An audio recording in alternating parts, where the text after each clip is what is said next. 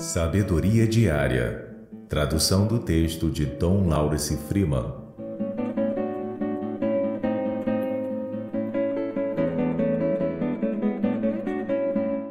Quando nos sentamos para meditar pela primeira vez, podemos ficar impacientes e inquietos e querer levantar para fazer alguma coisa. Achamos que a mente está muito ocupada, muito barulhenta para podermos meditar. Mas continue, faça seu trabalho, continue retornando ao mantra com gentileza, fidelidade e obediência.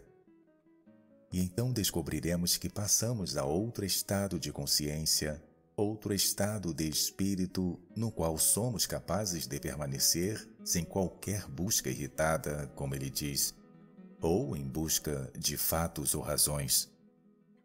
E somos capazes de enfrentar as incertezas da vida sem sentir que sua paz foi destruída.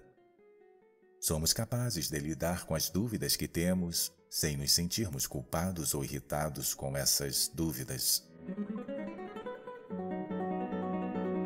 Comunidade Mundial para a Meditação Cristã